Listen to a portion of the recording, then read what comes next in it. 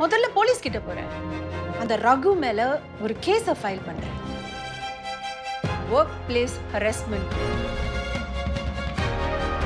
இதுக்கப்புறமும் எதுவும் சரியா வரலன்னா இந்த ஃபார்மை ரெண்டா உடைக்க வேண்டியது வரும். கான்ட்ராக்ட் இல்லாததுனால பாட்டை அவங்களுக்கு தெரியாம பயன்படுத்துனதாகவும் என் கிரெடிட்ஸ்ல அவங்களுடைய அனுமதி இல்லாம மாத்தி பயன்படுத்துனதாகவும் உங்க மேல குற்றம் சாட்டியிருக்காங்க. அவங்க அவங்களோட டீட்டெயில்ஸ் எங்களுக்கு கொடுக்கலன்னா நம்ம எப்படிங்க போட்டிருக்கோம்? அதுக்குண்டான இமெயில்ஸும் என்கிட்ட இருக்கு. நீங்க மட்டும் என் பக்கம் இருந்திருந்தா காலையில வந்த உடனே மொத வேலையா எதுக்கு அந்த சிசிடிவி ஃபுட்டேஜ் ஆதாரத்தை அழிச்சிங்க? அந்த சிசிடிவி ஃபுட்டேஜை பத்திரமா நான் சேவ் பண்ணி என் கையோட நான் வச்சிருக்கேன்.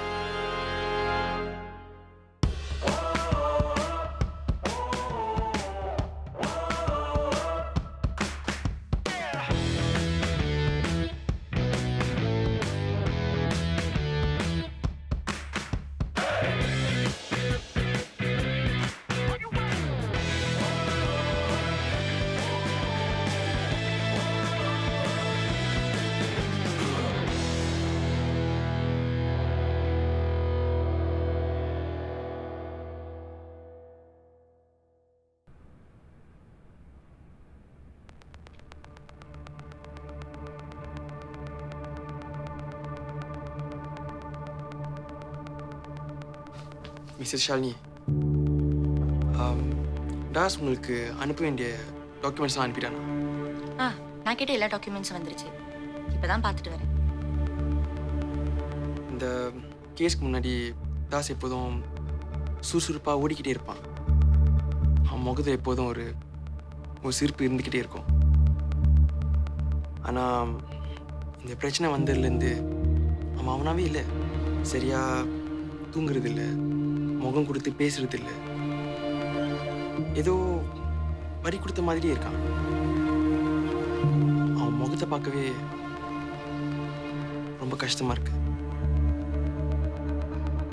அவன் மேலே கேஸ் போட்ட அந்த லாயர் லெட்டரை ரெஜிஸ்டர் போஸ்ட்ல அவன் ஆஃபீஸ்க்கு மட்டும் அனுப்பல. இங்கே வீட்டுக்கும் அனுப்பி வச்சிருந்தார். அதை பார்த்த அப்புறம் அம்மா அப்பாவும் பதறி போயிட்டாங்க. அவங்கள சமாளிக்கிறதுக்குள்ள போதும் போதும் ஆயிடுச்சு. எனக்கு அந்த லாயரை பத்தி ஓரளவு தெரியும். ஒரு கேஸை வீண் பண்றதுக்காக அன்எத்திக்கலா என்ன வேணாலும் செய்வார். ஸோ இந்த மாதிரி சமயத்துல யூஎஸ் லாயர் உங்க அம்மா கிட்ட அப்பா கிட்ட டாஸ் கிட்ட தைரியமா இருக்க சொல்லணும். பதட்டப்படாம ரொம்ப அமைதியா தான் இதை கையாளணும். தேங்க்ஸ் மிஸ்டர் ஷாலினி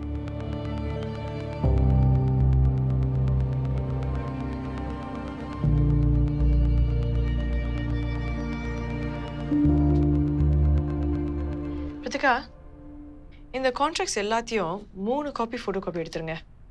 எல்லா பேஜஸும் சரியா இருக்குதான்னு ஒண்ணுக்கு ரெண்டு தடவை சரி பார்த்துருங்க. கண்டிப்பா.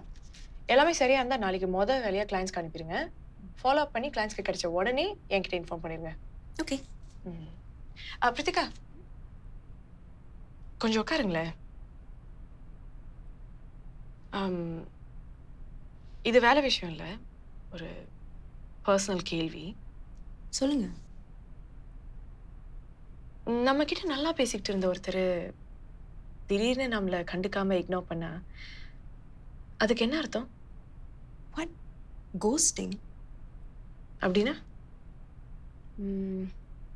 ஓகே இப்போ நெருக்கமாக பழகிட்டு இருக்கிற ரெண்டு பேர் திடீர்னு போர் அடிச்சு பிடிக்காம போனா ஒருத்தர் இன்னொருத்தரை இக்னோர் பண்ண ஆரம்பிப்பாங்க. அதுதான் கோஸ்டிங் ஏன் கேக்குறீங்க கீதா? ஏதாவது பிரச்சனையா. மாறனுக்கு இதோட பத்து மெசேஜ் அனுப்பிட்டேன். பார்த்துட்டாரு ஆனா ஒரு ரிப்ளை கூட இல்லை. கால் பண்ணி பார்த்தீங்களா ஆ மூணு தடவை கால் பண்ணியாச்சு. அதுக்கும் எந்த பதிலும் இல்லை.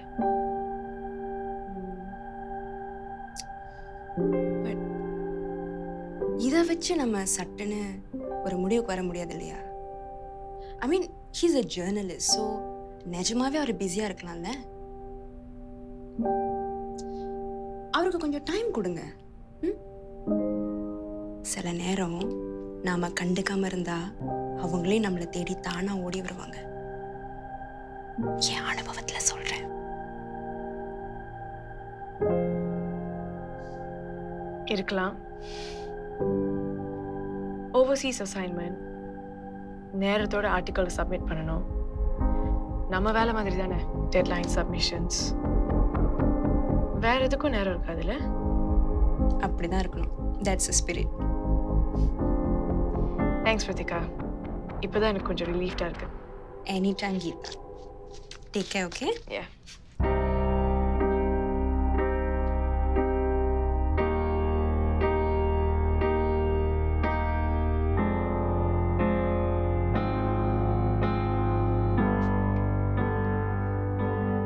Nancy என்ன கிளம்பல? மணி ஆகுதுல கிளம்பணும். எல்லாத்தையும் ஒரேடியா விட்டுட்டு கிளம்பணும். என்ன நான்சி என் தலையெழுத்த பாத்தீங்களா? என்னை அவமானப்படுத்தி காயப்படுத்தினதுக்காக யார் மேல ஆக்ஷன் எடுக்கணும்னு சொன்னேனோ அவங்கள பத்தி நான் பாராட்டி ஒரு ஆர்டிக்கல் எழுதணும் இதை விட ஒரு அவமானம் எனக்கு தேவையா?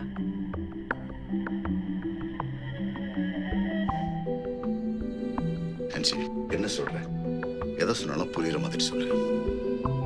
மிஸ்டர் ரகு ஒரு கேஸ அணுகி எப்படி திறமையா செயல்பட்டாருன்னு விளக்கமா எழுதி அவரை பாராட்டி ஒரு ஆர்டிக்கலை தயார் பண்ணி நம்ம ஃபேமோட அஃபிஷியல் ஃபேஸ்புக் பேஜ்ல அப்லோட் பண்ணணுமா? அதுவும் படத்தோட. ராஜாவோட உத்தரவு. இதெல்லாம் எதுக்கு நீ செய்யணும்? யாராவது ஒரு இன்டென்ட் சொல்லி செய்ய சொல்ல வேண்டியதானே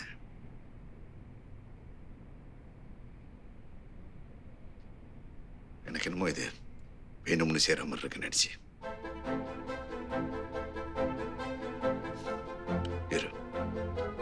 ராஜா கிட்ட பேசுறான். வேண்டாம் தோர விடுங்க. கொஞ்ச நாளாவே நீங்க எது செய்ய போனாலும் நமக்கு எனக்கு சாதகமா எதுவுமே முடியற மாதிரி தெரியல. எல்லாமே வீண் பிரச்சனை தான். என்னால யாரும் சண்டை போட வேண்டாம். எப்படி இருந்தாலும் பிரச்சனை பெருசா தான் ஆக போகுது. கடைசியில நான் தான் அந்த ஆர்டிக்கலை எழுதி முடிக்கணும்னு வரப்போகுது அதுக்கு நான் எப்பயும் எழுதிட்டு போறேன். நீங்க விடுங்க. நன்சி இந்த ரகுவோட பிரச்சனை வந்ததுலேருந்து நான் ரொம்ப டிஸ்டர்ப்டாக இருக்கேன். என்னால் சரியாக யோசிக்க முடியல. கான்சென்ட்ரேட் பண்ண முடியல. நம்ம எல்லாத்தையும் மறக்கணும். நன்சி மறந்துட்டு மறுபடியும் புதுசாக ஆரம்பிக்கணும்.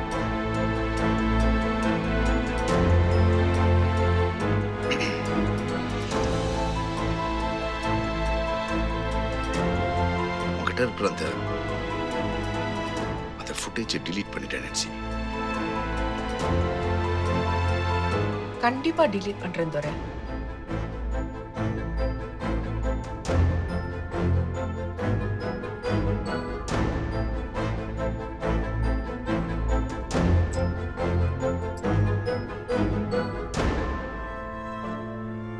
நாளைக்கு காலையில அக்கௌண்டன்ட் பாலா கூட மீட்டிங் இருக்கு மறந்துடாதீங்க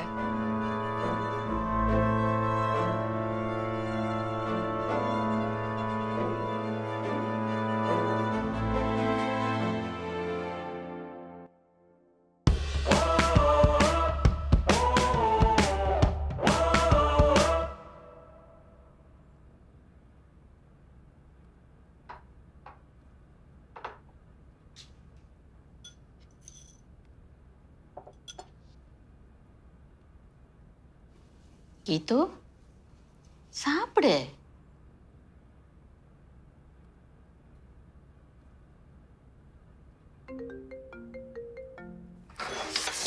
ஏய் ஐயோ பார்த்து போ hello Good morning, madam. We are calling from ADS Bank. Is this a good time to talk about our new insurance policy? No, I'm really busy. This is not the right time. And whatever it is, I'm not interested, okay?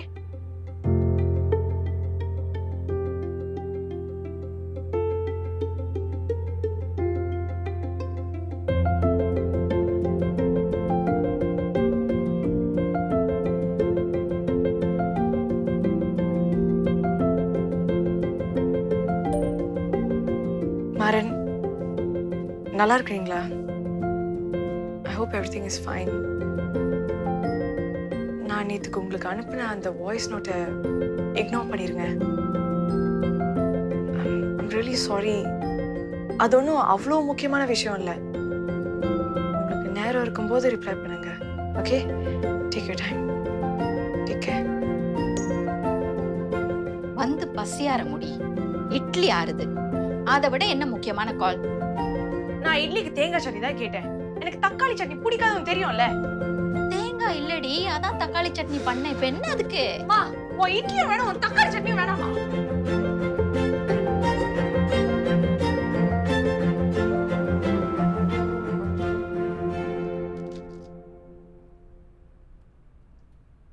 போன குவார்ட்டரில் நாற்பத்தி மூணு percent குறைவாக இறங்கி இருக்கு போன வருஷம் இதே குவார்ட்டரை compare பண்ணால் கூட முப்பத்தி எட்டு பர்சன்ட் குறைவாக வந்திருக்கு. எப்போதும் இல்லாத அளவுக்கு இந்த வருஷம் நம்ம வருமானம் குறைவாகவே இருக்கு. இதுக்கு காரணம் நம்ம முந்தைய கிளைண்ட்ஸ் கொடுக்க வேண்டிய அவுட்ஸ்டாண்டிங் பேமெண்ட்ஸ் வராமல் இருக்கிறது ஒரு காரணம். நான் இதில் நம்ம கட்ட வேண்டிய பேங்க் லோன்ஸை சேர்க்கல. அதை வேணால் ரீஃபைனான்ஸ் பண்ணிக்கலாம். என்ன சொல்றதுன்னே தெரியல பாலா.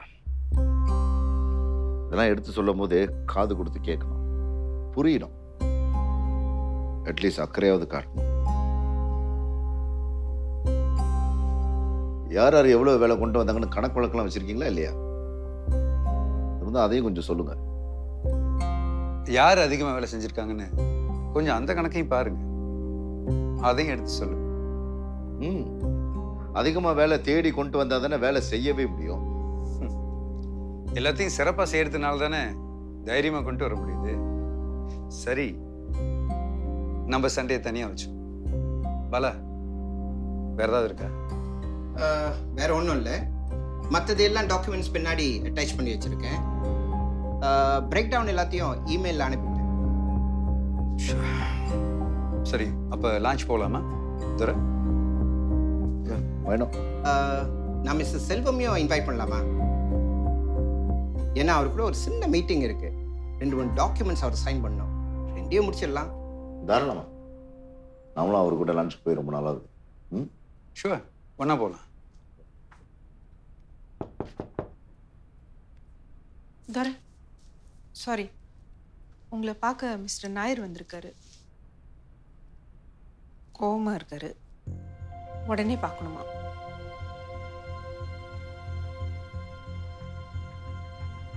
ராஜா பலா. நீங்கள் வந்து போங்க லஞ்சுக்கு நான் அவர்கிட்ட பேசிட்டு அப்புறம் வந்து ஜாயின் பண்ணுறேன் ம்?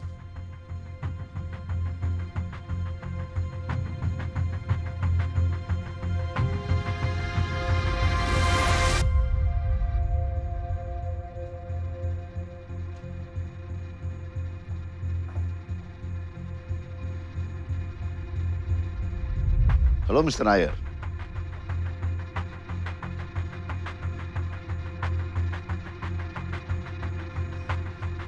என்ன திடீர்னு? எப்படி இருக்கீங்க? லுக்கிங் குட் என்ன மிஸ்டர் துரை? இப்படி தான் கொஞ்சம் கூட ப்ரொஃபஷனலிசமே இல்லாமல் நடந்துப்பீங்களா கொஞ்சம் கூட பொறுப்பே இல்லாமல் கண்ணா பின்னாலும் இன்டர்வியூ கொடுப்பீங்களா? என்ன சொல்றீங்க மிஸ்டர் நாயர்? உங்க லாயர் கீதா இன்டர்வியூ கொடுத்துருக்காங்களே. படிக்கல? இல்லை. நடத்திக்கிறோம் மிஸ்டர் நாயர் நாம என் ரூம்ல போய் பேசலாமே. கீதா சொல்லி உடனே என் ரூம்க்கு வர சொன்னேன்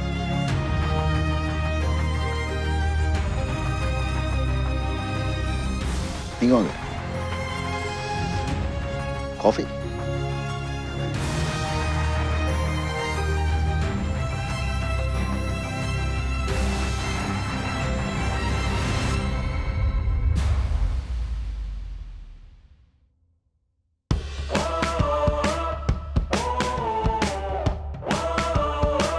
thank you that's about it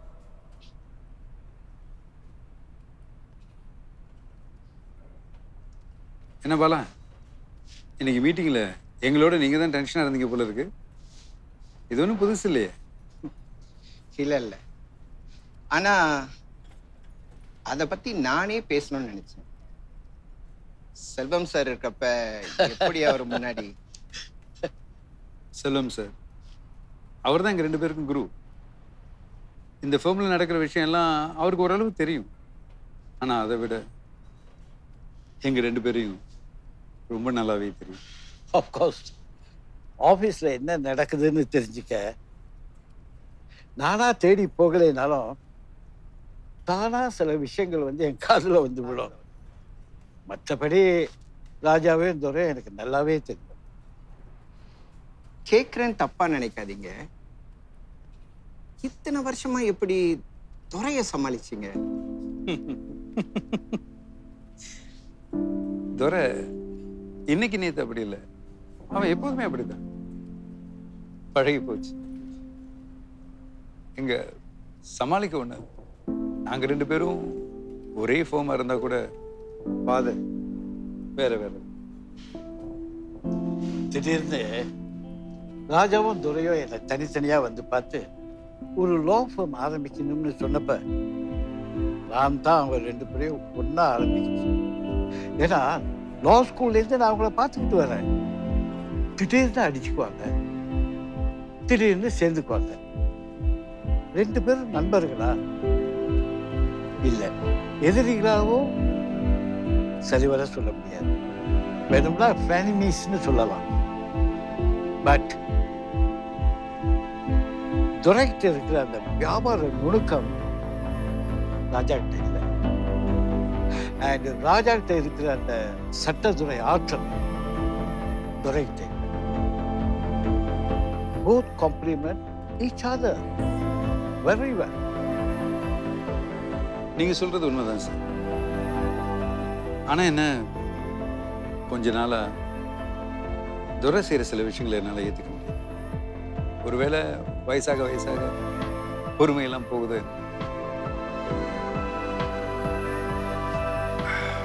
ஆனா நான் கொஞ்ச நாளா யோசிச்சுட்டு இருக்கேன். அவங்ககிட்ட சொல்லிட்டு ஃபேம்ல இருந்து என்னோட பங்கை குறைச்சிக்கலாம். No no. நோ நீ பிஸ்னஸை குறைவாக கொண்டு வந்தாலும் துரை மூலமா வர்ற பிஸ்னஸ்க்கும் நீயும் ஒரு வகையில காரணம். ராஜா உங்க ரெண்டு பேருடைய நோக்கங்கள் ஆரம்பத்திலிருந்தே வேற வேற. இதை தெரிஞ்சு தானே துரை உன் கூட சேர்ந்து இந்த ஃபேம் ஆரம்பித்தான் ஸோ இதெல்லாம் நினச்சிக்கிட்டு உன் மனசை போட்டு குழப்பிக்காது. ஓகே நீங்கள் ரெண்டு பேரும் இந்த ஃபேம் ஆரம்பிக்கும் போது தேவையான முதலீட்டை யார் முதல்ல கொண்டு வந்தது? நீ.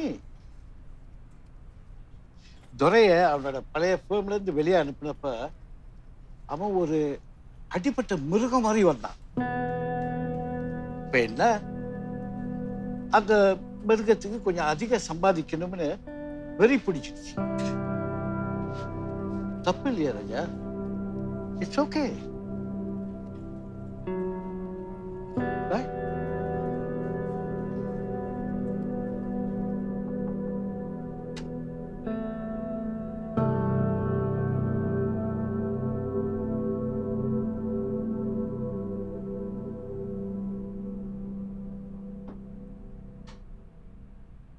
Good morning, Mr. Nair.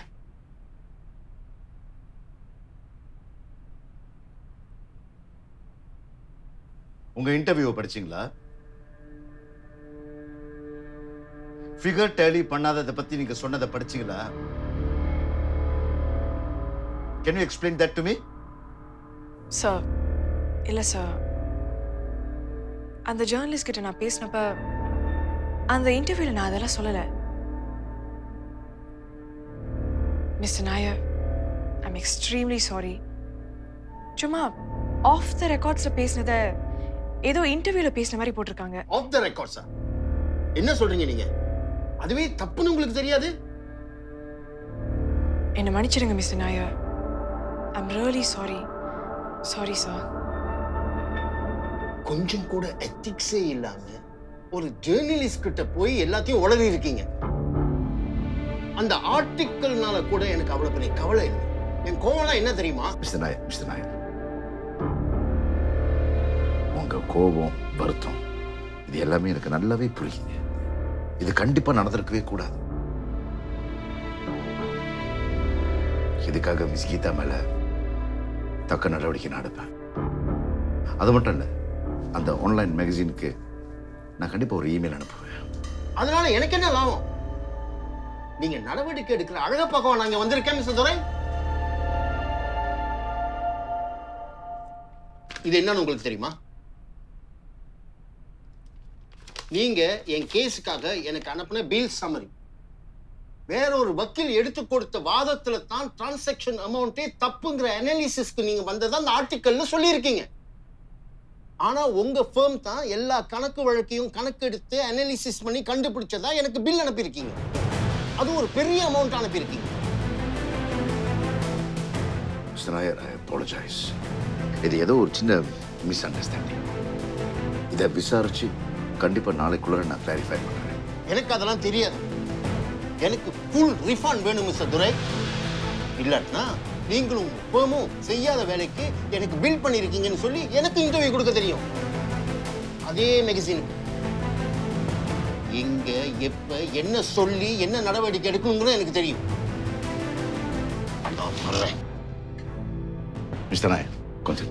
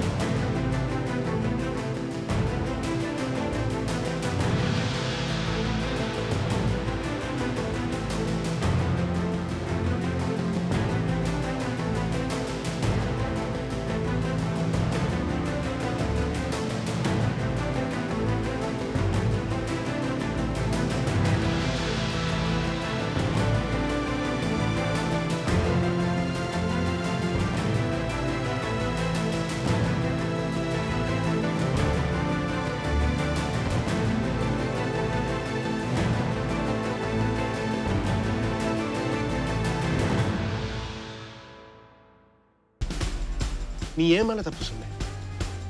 என்னால நம்ம குடும்பத்துக்கு அவமானம் வேற சொன்ன. என்ன பாக்குறதுக்கு என்ன? ஆ? பாட்டு திருடுற மாதிரி இருக்கா?